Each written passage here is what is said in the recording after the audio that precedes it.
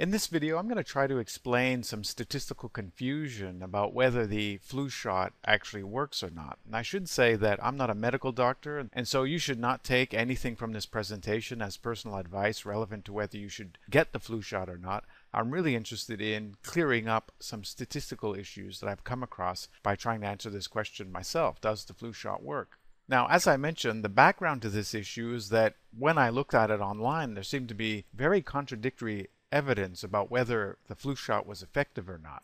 And so some researchers argue in favor of its effectiveness, and they state that getting the flu shot, and this is for healthy adults by the way, getting the flu shot reduces the chances of infection by 50%, which might be argued to be quite a substantial statistic.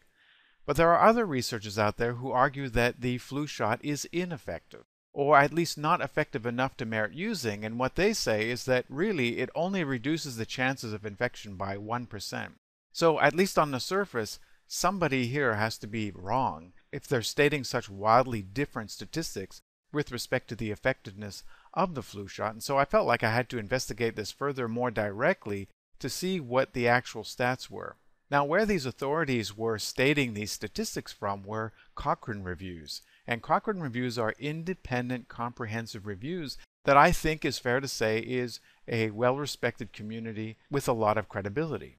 And what the Cochrane community does is they tend to do these very large scale, comprehensive reviews that include most of the empirical research relevant to a research topic. And so, in a fairly recent review of the topic of the flu shot effectiveness, they combine the results of the best 25 randomized placebo controlled studies that examined the effectiveness of the flu vaccines administered to healthy adults. So these are good quality studies because they're randomized placebo controlled, which means that about half of the people in the study were randomly selected to receive the flu vaccine and they didn't know that they were getting the flu vaccine. And in the other half of the sample of the study, the people received a placebo type of injection, which was really no treatment at all. Now, in some of those studies, there was no placebo. They just followed about half of the sample over the duration of three to four months, which is a flu season, to determine whether they got the flu or not. So about half of the sample received the flu injection and the other half did not receive the flu injection and the total sample size across all these studies was a whopping 71,221. So we're going to get a very accurate and confident estimate from this review. And here is the actual review that I'm re making reference to. It's entitled Vaccines for Preventing Influenza in Healthy Adults, and that's the URL at the bottom of the page. And it's right here. This is it here.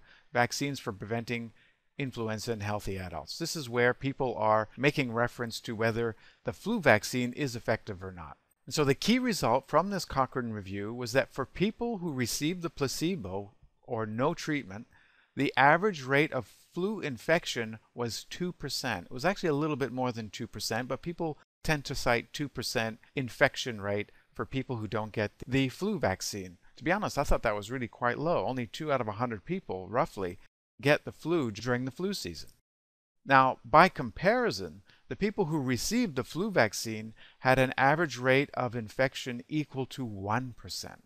And so here's a snippet of the author's conclusion of the Cochrane Review where I got those numbers, 2 and 1%. They're roughly that in rounded terms. So solving the statistical mystery is now fairly simple and straightforward. Position 1 can be supported by doing the following statistical calculation. Divide the lower percentage by the higher percentage and then subtract that value from 1 and you get 50%. So dropping from 2% to 1% is a 50% reduction. So people arguing in favor of the effectiveness of the flu vaccine are accurate and justified on the basis of this statistic. But position 2, the people who are arguing that it's not effective enough, simply take the absolute value by subtracting the lower percentage from the higher percentage, and in this case 2 minus 1 equals 1%. That's also totally true.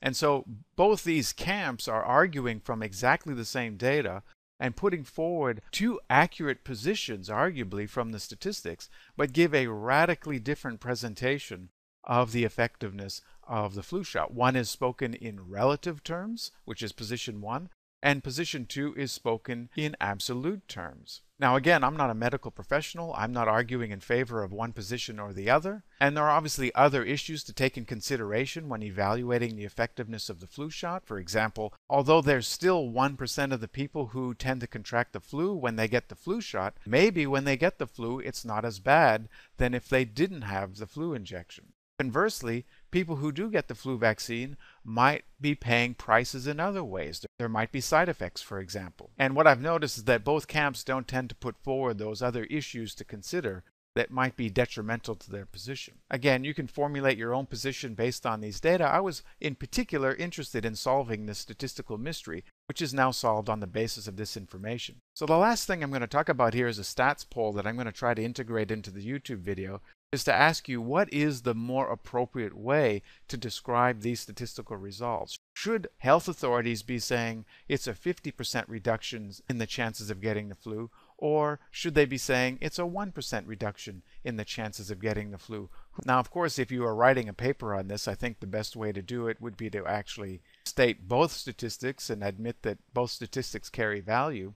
But if you had to choose one way to describe it, which way would you choose? Would you choose the 50% reduction or the 1% reduction in communicating the effectiveness of the flu vaccine? So I'll put a poll and see what people tend to say with respect to that question.